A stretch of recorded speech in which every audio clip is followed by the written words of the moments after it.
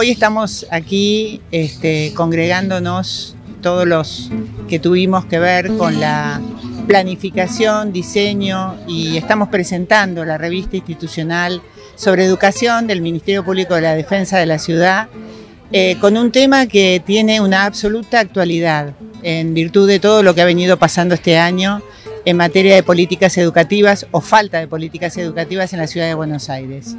Así que esta actividad hoy, la verdad que nos pone muy contentos, eh, nos permite generar un espacio de reflexión para poder pensar y para poder compartir eh, el deseo de que las políticas públicas en materia de educación en la ciudad sean diferentes, sean más inclusivas y sean más igualitarias.